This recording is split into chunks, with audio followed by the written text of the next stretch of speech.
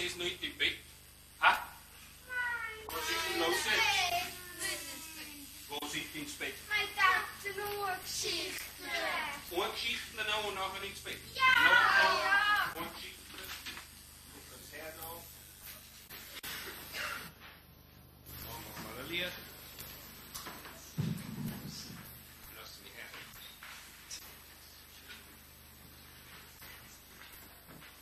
Also, eine Geschichte noch und nachher aber ohne Widerrede ins Bett, gell? Eine Bärengeschichte, eine wahre Begebenheit. Das Bibel hat zum Vater gesagt, sag, wie ist es gewesen, dort, wenn du mit dem Grust vor langen Zeiten noch auf die Jagd bist gegangen? Sagt der Vater, wir sind halt gegangen durch einen dunklen Wald und wenn wir in der Mitte rein zum Klausenbrickeln gekommen sein, da kommt der Bär ins Gegengewackelt, das hat das ganze Brickel genackelt. Das Bibel kann die fassen. Ha- Haben sie nachher ich gleich geschossen?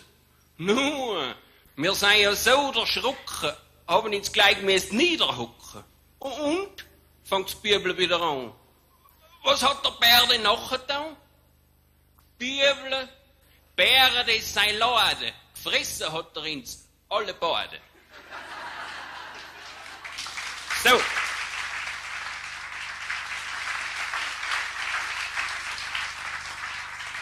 Und jetzt macht denkt durch. Gute Nacht. Gute Nacht. Viel Dank. Schlafen's gut.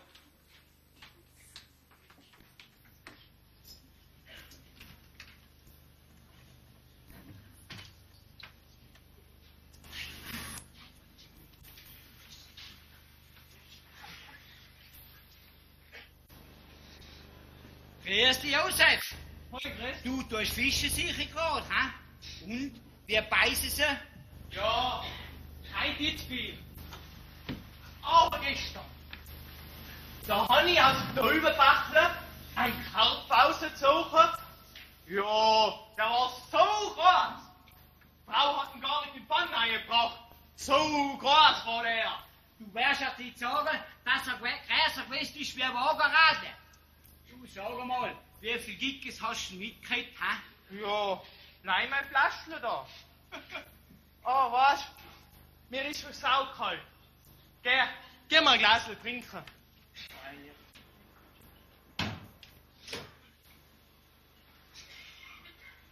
Kellnerin! Kellnerin! Geh, bring uns zwei Glas Wein. Ja, grüß den Commander. Ja, grüß dich. Nachher, noch ist? Hoi, ganze Haufen. Du, ich bin jetzt gerade draußen gewesen im Monagreizeln und da haben sie vor einer halben Stunde ein Haus geschossen mit 14 Kilo. Mit Was? Mit 14 Kilo. Ja, ja, ja, ja, ja. Du Ein Haus ja wohl. 14 Ein Haus Kilo. mit 14 Kilo. Drei Kilo Fleisch und elf Kilo Schwert. ja, das ist gerade der gleiche Haus, wie dein Karpfer gewesen ist. Ja, Du, jetzt sag mal, ehrlich. Ganz ehrlich. jetzt sag mal, wie groß ist denn der Karpfer wirklich gewesen? Ja, Äh, ehrlich? aber Selloga hat er rausgestellt. Nein! Das ist etwas das Buch der Re Re Rekorde, hey. Zum Wohl.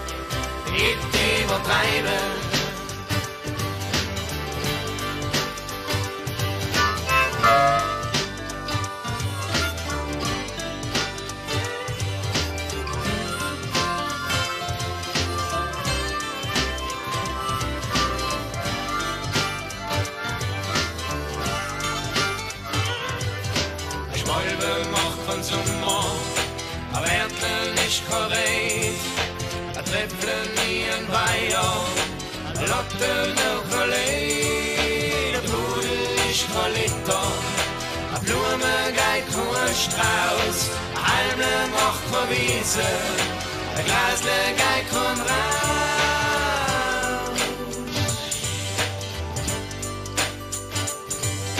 A Fleckle macht vom Winter, wo weißes Haar in alt. A Rad ist noch verwagen, und noch ein Baum kein Wald. A Haus ist lang kein Auflen, a Mensch macht nicht ganz weit. A Geiz war noch lang nicht, an Reichtum und viel Geld. Nie übertreiben, nicht übertreiben, nie übertreiben. Nicht übertreiben. Und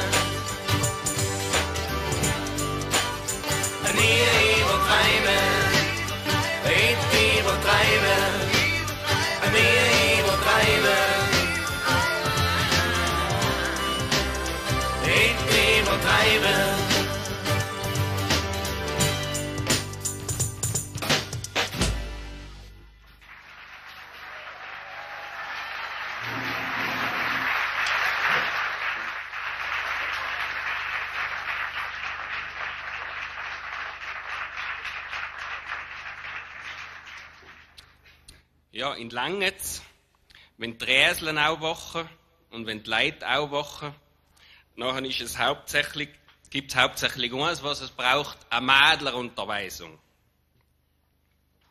Beim Mädlerfest, da hat der Grat eine Unterweisung gehalten. Eng junge Mädler geht's heint an, eng schadet's nicht, eng alte. Zuerst kommt der Glaube. Klein drau dort Hoffnung hangen und nachher ist es alter Brauch. Das Licht tut mit Liebe anfangen. Bei eng da ist es umgekehrt grad. Zuerst die Liebe, da seid's ganz gestorben, in die Hoffnung kommen's noch und das Licht erst, wird es glauben.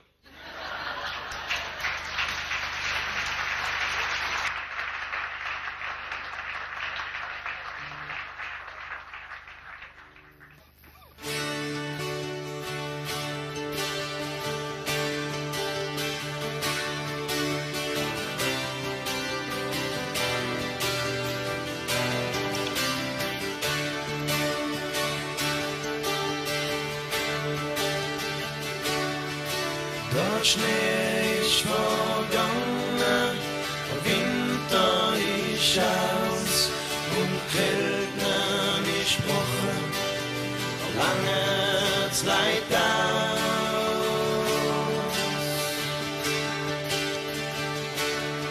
Das Viech treibt man auf die Wiesen, und Sonne scheint grau, erst bachlet aus Rinnen,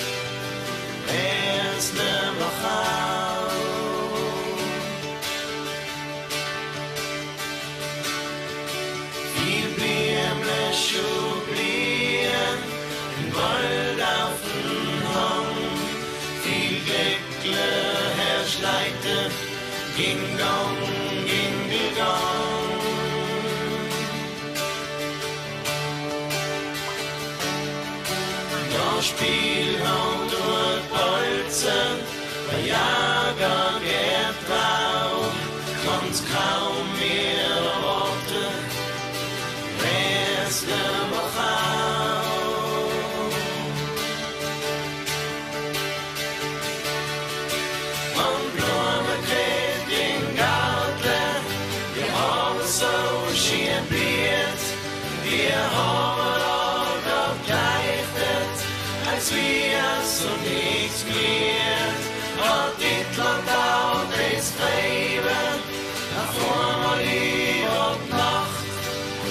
Hat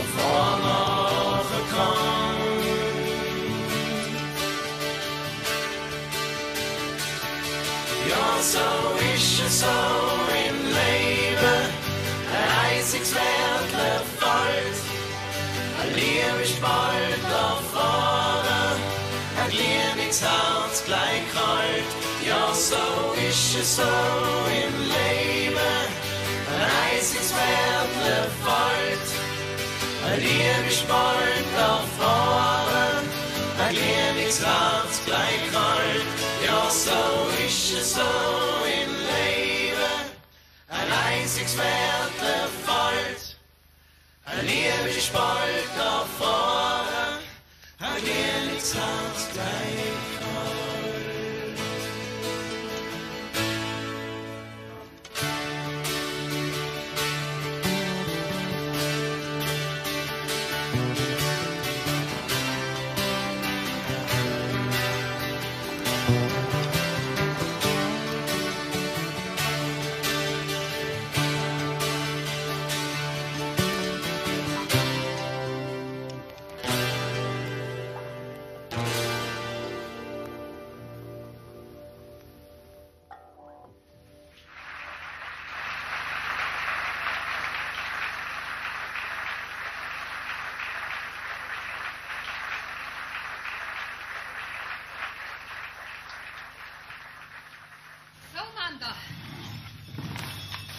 Ich jetzt da gerade in den Ausschaller gehört? Dann müssen wir echt losen, was der zum Berichten hat. Ah Ja, Kind. Aufpassen, was zugelassen.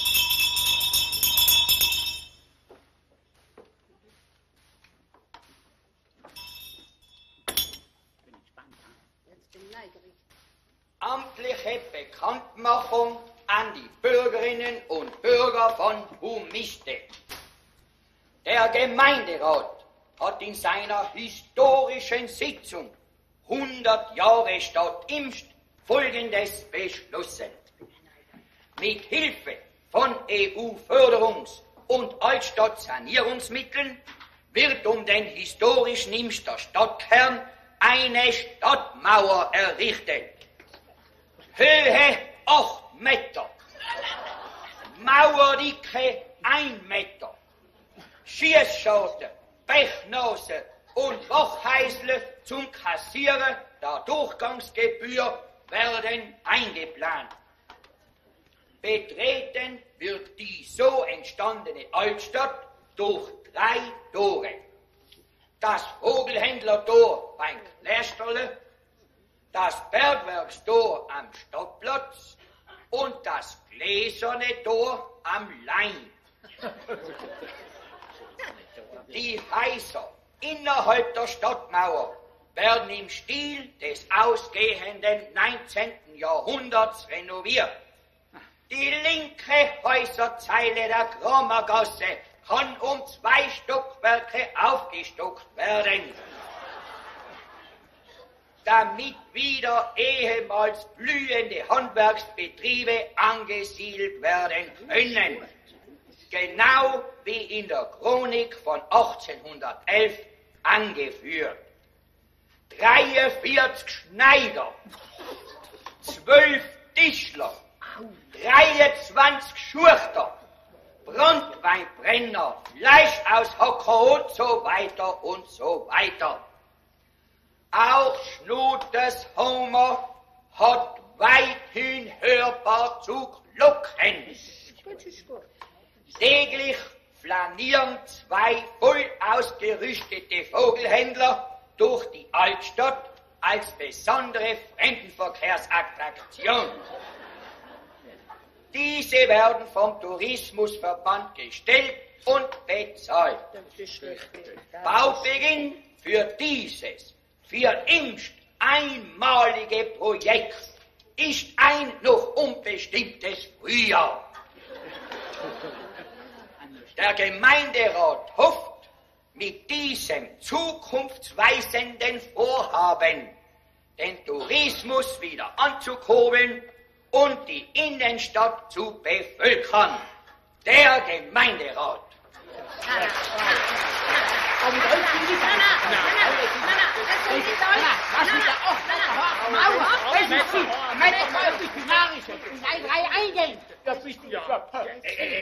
Lasst euch das dabei. Lasst euch das dabei. Die der Gemeinde haben wir mal gesehen. Wenn die früher schon kein Geld gehabt für eine gescheite Stadtmauer, wir haben es, laut Bürgermeister Manfred. Ja, ja. Wir Steuerzahler haben es. Ja, ja, ja. So, und jetzt habe ich einen Durchdruck, bin ich von dem vielen reden, dass ich nicht mehr Papp sagen kann. Kellnerin, gell, bring mir ein Bier, jetzt mach ich Da eine bringen wir eine Pause. halbe Wein mit, da und Karten. Jetzt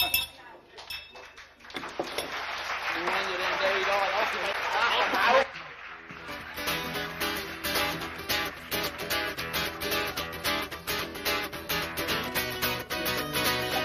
ich auf Finchburg kommt und mir fremde Wald. Ich bin das ganze Jahr gewöhnt und denk auf bei mir. Und damals es so laufen Leid aneinander gar vorbei.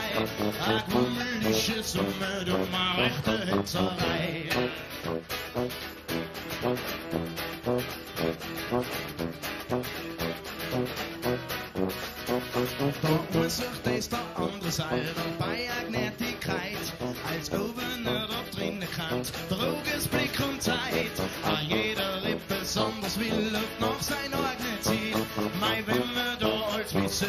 Wissen, da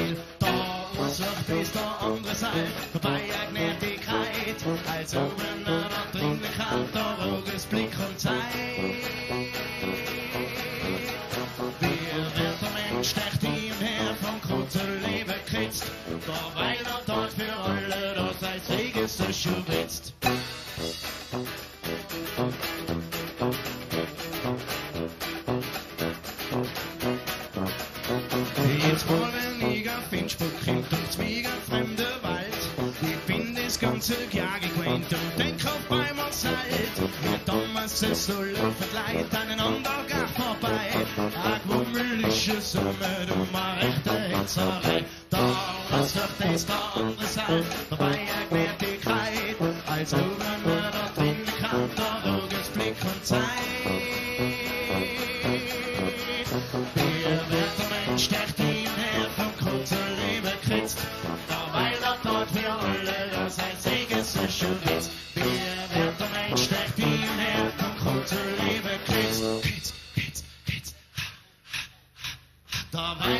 er dort für alle das einzige so schön ist.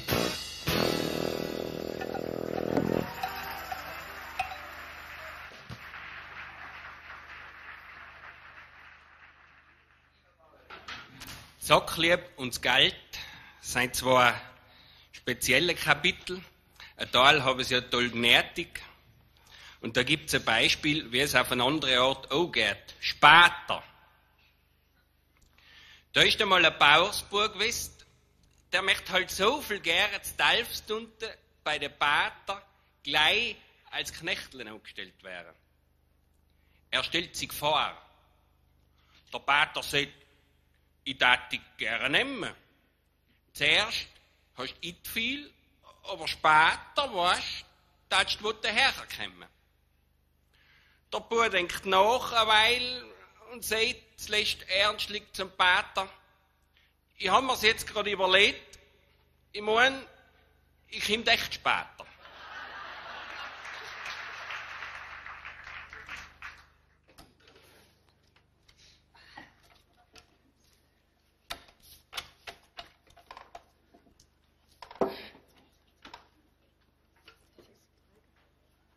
Freigeboten!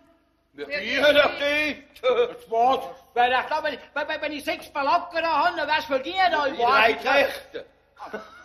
Auch nicht ein falsches Spiel. Dass du was da dort wart, Jesus Gott. Also, vom Fass, in Hunger habe ich separat dazu. Ja, mei, wir haben halt noch das Glück hinterliert. Ja, genau, genau wie der Mucherler. Ja, stellt sich vor, der hat heint die dritte Schwester von seinen bereits verstorbenen zwei Frauen geheiratet. Nein, ich dachte, dieser Depp, mit denen ist ja außer der Mitgift nichts angefangen. Das haben ja alle solche Beißzangen. Ja, ja, der arme Kerl hat auf der Welt schon gekriegt. Ja, und du meinst, die dritte ist besser?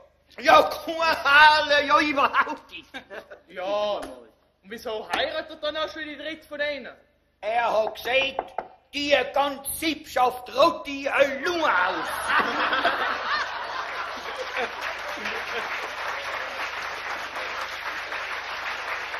Gern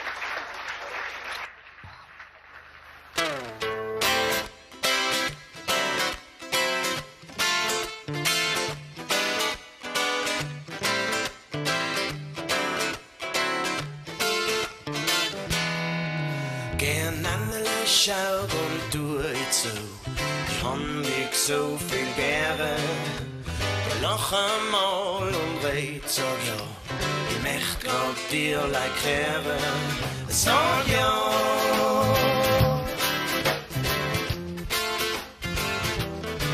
Sag ja.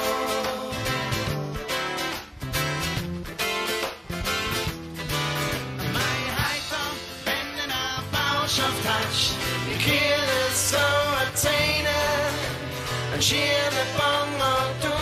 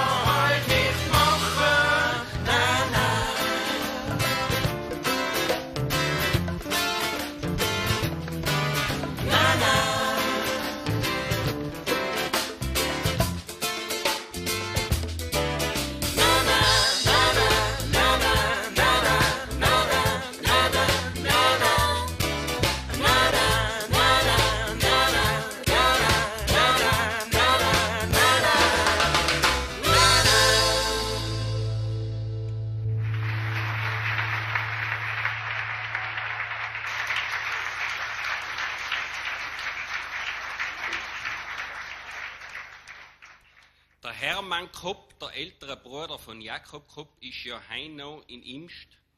Viel ältere Leute jedenfalls, aber überhaupt viel Leute in Erinnerung.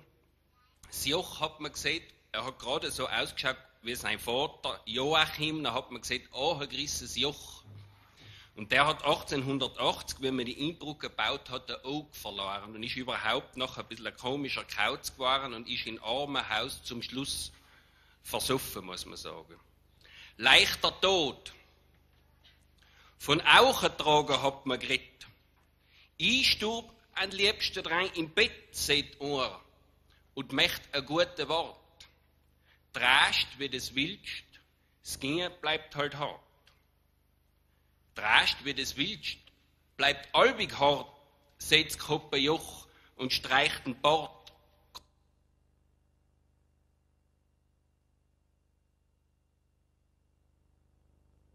Leichter, Joch soll wertig sein.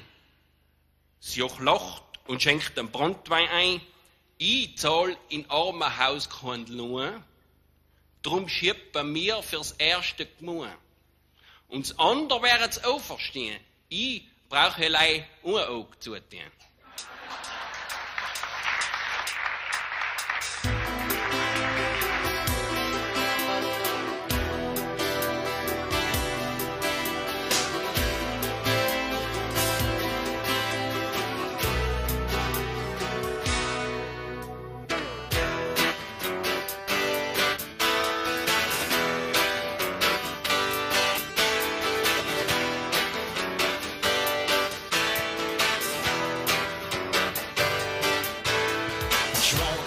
Schlacker auf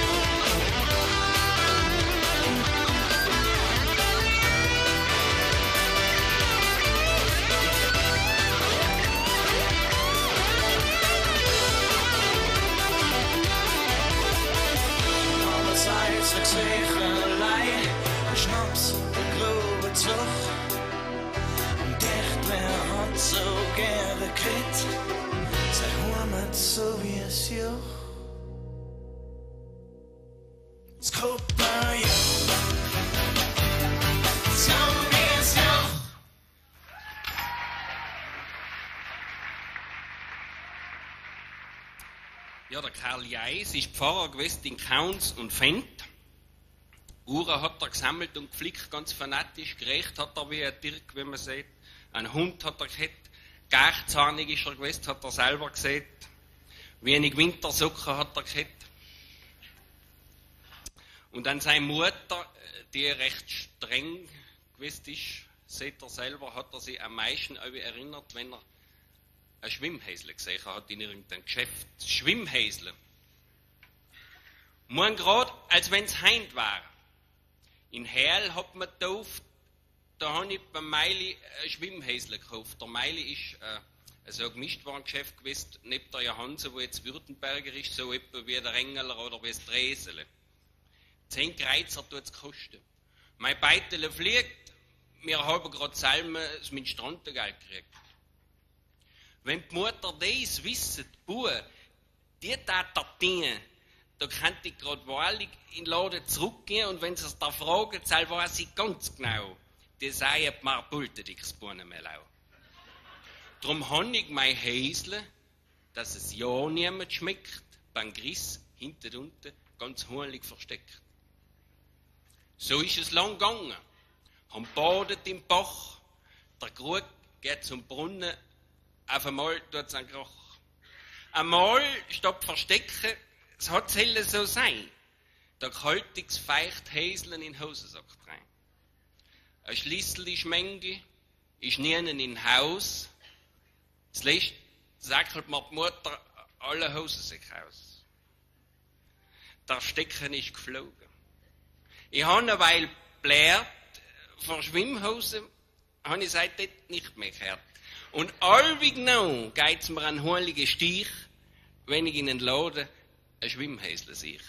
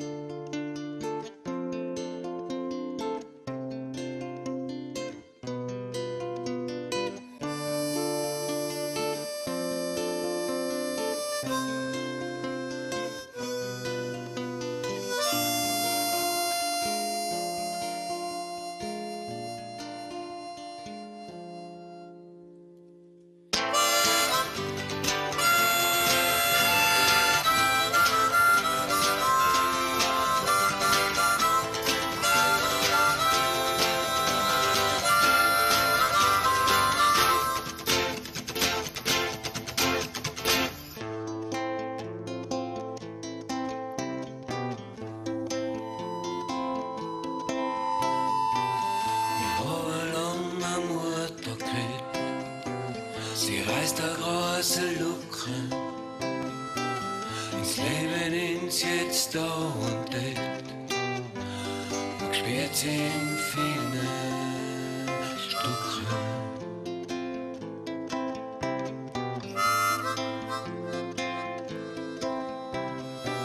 Sie hat ins Suchen, wie es ist gehört, hat Halt auf Krit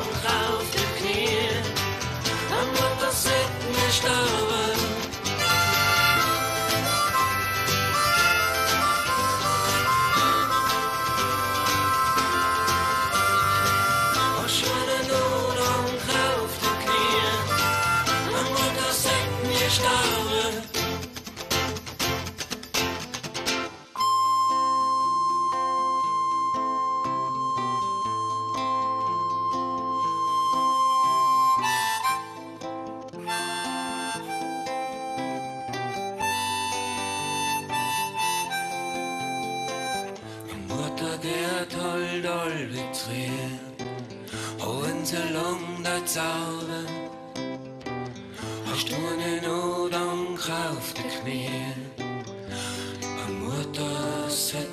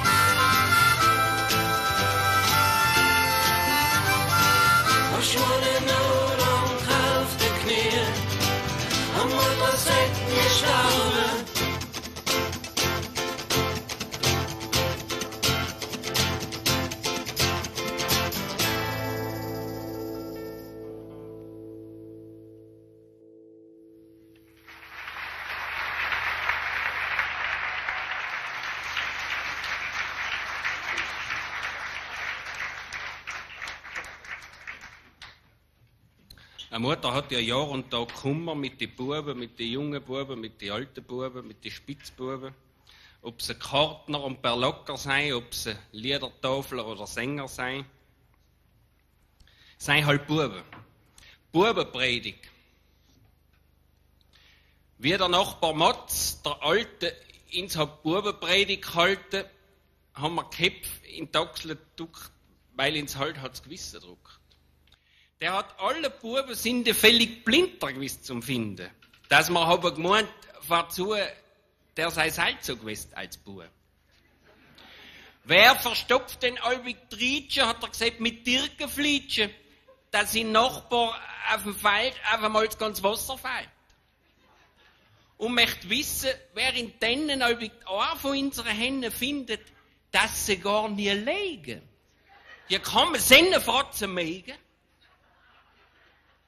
Und wer lässt beim Bacheln hinter die Druselen zu verschwinden und das Flieren Kaiserbieren mit dem Lätteln auch stieren? Seid's denn es in Schirchenkarpfen, so auf Topspeim auch ein Harpfen, wenn ich das nächste Mal find, ich reisenk Taren aus. Seit dort haben wir uns von Weitem vor Motz verdruckt bei Zeiten, denn auf so eine Predigt schau geben Buben echt nicht trau. Und hulig hat ich den Motz gemerkt fragen, ob er in Zelt hat müssen sagen. Das Gewachsene, oh, it anders stehen, sonst bräuchte sie nicht mehr beichten zu gehen.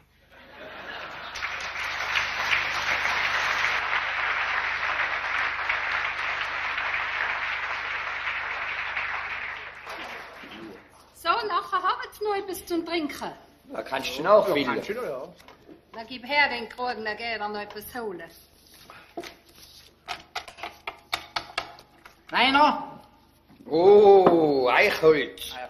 Drei, oh, dreieinhalb, oh, vier. hey, hey, Mann. Hoi, da im Liederkranz hat ein, ein Probe. Da sei einmal ein Haufen Mann daraus. Grüß. Ja, die jetzt Balocco. Ja, ja, die lernen. Da kann man das Balocco-Lied singen. Ja, das war Ja, es. machen wir, Mann. Das Und seiner? Ja, sauber. Im Wirtshaus zur Rosengott klein bei der Straß. Da hocken vier Mann mit blau-roter Los. Der Hirsel, der Jockel, der Sepp und der Veit, der Bibeln und Nebeln und reden recht gescheit. Der Bibeln und Nebeln und reden recht gescheit. Auf dem Tisch der Flaschkofel, Kreid und der Bosch und dann durchs Kartenspiel, das ist zu viel. Ein Trinken muss jeder Mensch mehr. Holt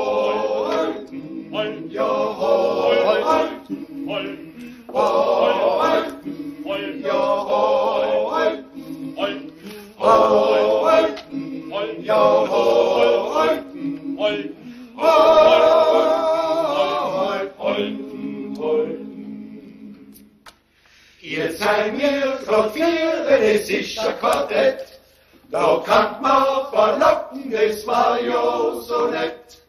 Der Hirsel, der Jockel und die und der Feind. So wir mal sitzen, das heißt, wenn's echt freit. So wir mal sitzen, das heißt, wenn's echt freit. Zur Leines Backel, Herr, die da was nimmer mehr, da hab's in Welle schon, sonst schon gut Wenn sie etwas bieten, na mir's was holen. Oh, halten, ja, halten,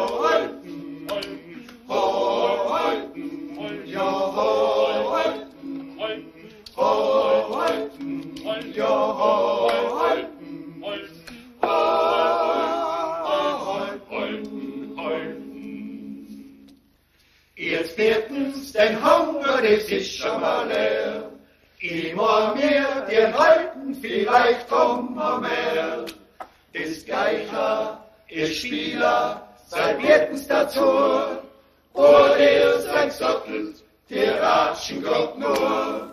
Vor dir seid sattelt, die ratschen grad nur. Die legen pfeiflich den Grill noch auf der Bier. Jetzt wird's mal bald so dumm, drei um um. Nier gehen, dir Holz. Holten, holten, ja,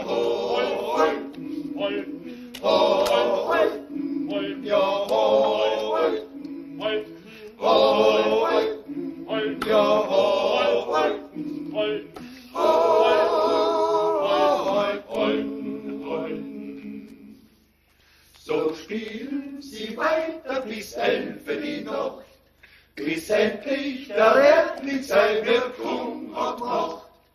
Der Hirsel, der Jockel, sein Stornig und Blär, weiß keiner von ihnen mehr aufrechter stert, weiß keiner von ihnen mehr aufrechter stert.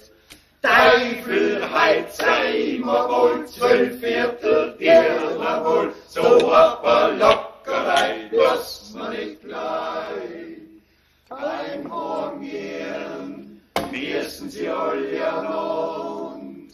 Oh, halten, halten, ja,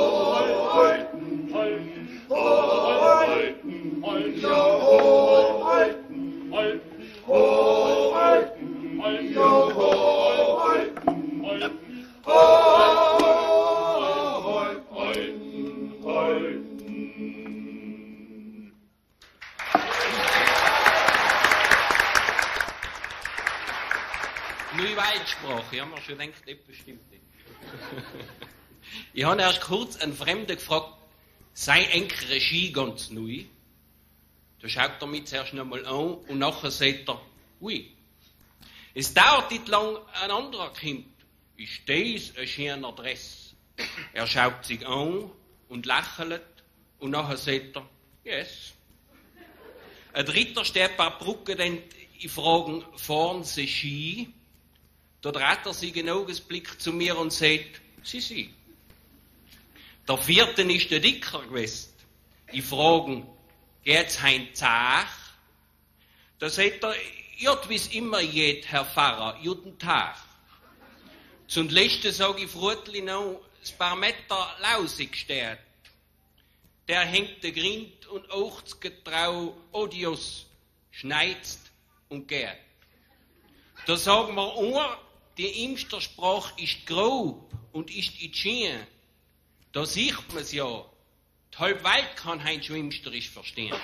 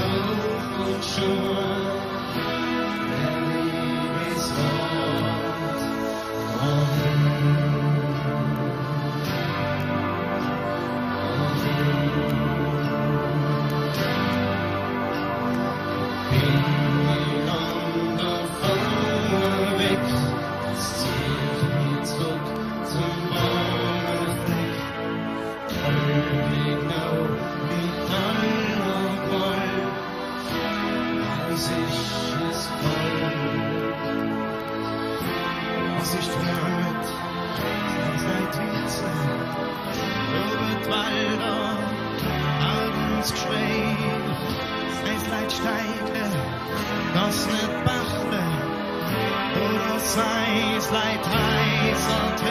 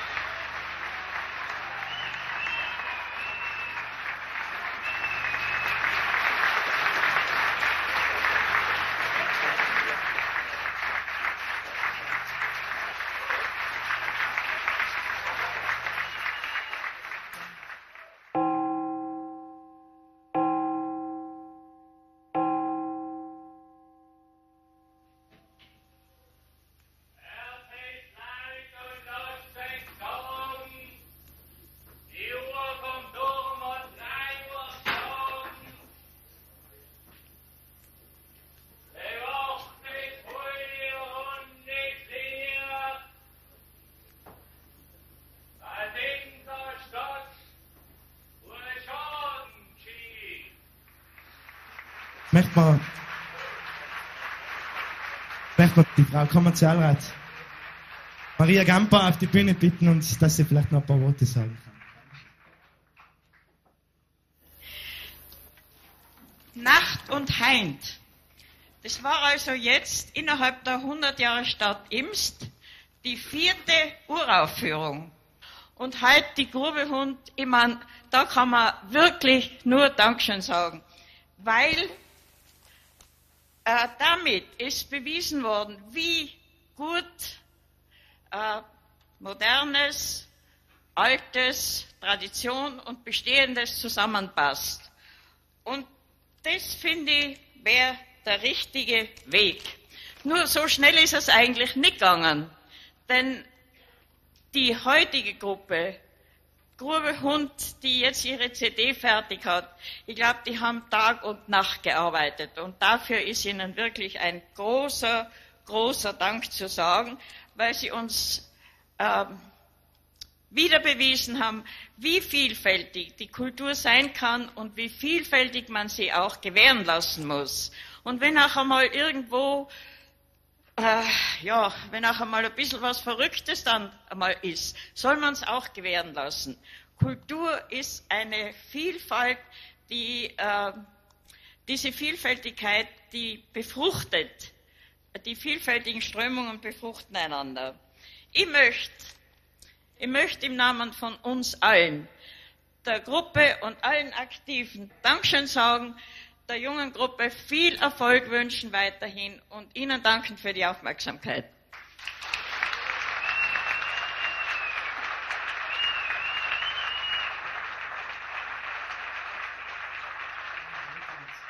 Ich möchte mich auch anschließen mit ein paar Dankesworte an alle Beteiligten. Alle Beteiligten, die, die was heute da waren und es ermöglicht haben, dass die ganze Veranstaltung stattfinden können, so wie sie wie sie abgelaufen ist. Unsere Favoritin, die Helma Fink. Danke, Helma.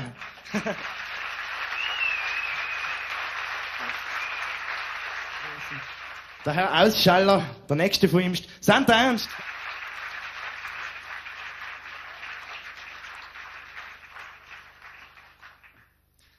Jäger und Fischer vom Feinsten, Pfeiferwalter und der Bosch Matthias. Dankeschön.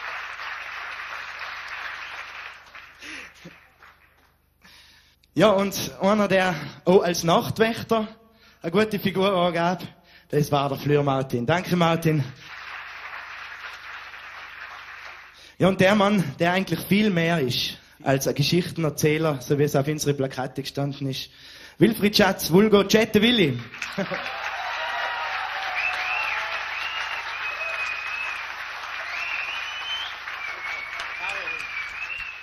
Ja, dann möchte ich jetzt einmal die Musiker vorstellen und gleichzeitig auch ein riesiges Dankeschön an Sie alle sagen. Und zwar war da einmal, fange ich mal an mit Schlagzeug und Percussions, der Ramftl Hermann und der Hugo Gitterle.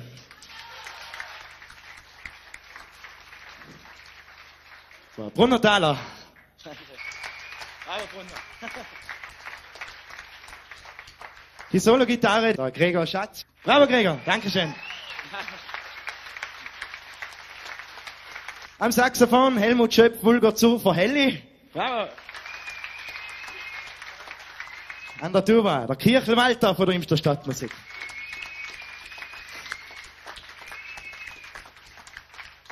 Ja, und auf unserer CD, da tat nochmal der Clemens Bergtal Bass spielen, der ist in letzter Minute wieder krank. Jetzt haben wir uns einen Ersatz holen müssen. Das war der Nevi aus Silz. Nevi!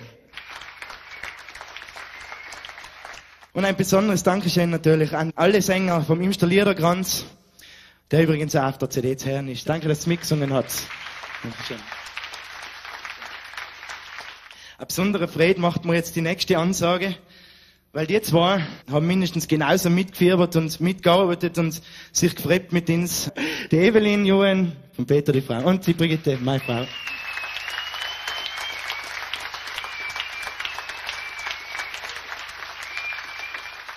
Und jetzt möchte ich mich noch bei all denen entschuldigen, die wir eventuell vergessen haben zum Aufzählen. Es sind einfach zu viele gewesen, die da wirklich bei der Sache mitgetan haben. Ich wünsche Ihnen jetzt noch einen schönen Abend, feiert noch ein bisschen mit uns, esst etwas, trinkt etwas und Dankeschön an alle, die heute da waren.